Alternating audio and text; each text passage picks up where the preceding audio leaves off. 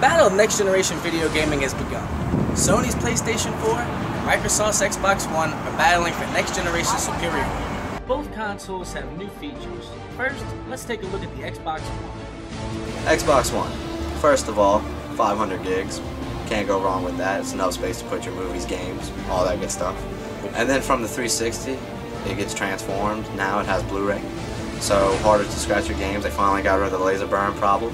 No three red rings. The new Xbox controller has a new rumble feature. to where, say, if you were playing Need for Speed and you got in a wreck, your car hit the top right, your top right sensor on the controller will uh, vibrate. The Kinect sensor also allows uh, the Xbox One to identify who everyone is, along with the new voice command. My whole life I've always been an Xbox fan. I have an Xbox 360 now, and I am definitely getting the Xbox One. I mean, who wouldn't want an Xbox One? Did you hear about the feature it has where you can just zoom out of your game while it's loading and watch TV? It also works as a DVR box, so you can go from hey Xbox, while I'm matchmaking on Halo, I could watch channel 58 along with that, and when I want to go back to my game, I could just say Xbox game, and it'll go right back to the game. Now check out what new features the PS4 has to offer. PlayStation 4.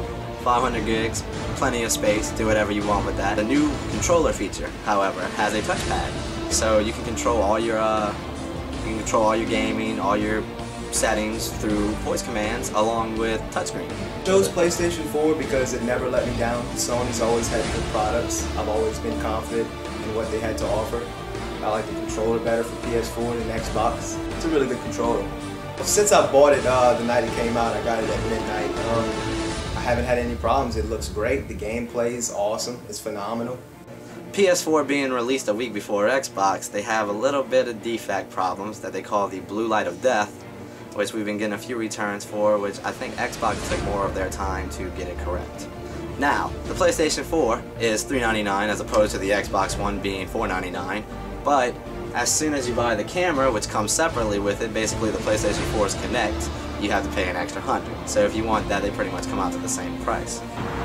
Only time will tell who will be victorious in the next generation battle of video games. Both PlayStation 4 and Xbox One have their loyal fans, and for those undecided on which console to get, go to www.xbox.com or www.playstation.com for more information.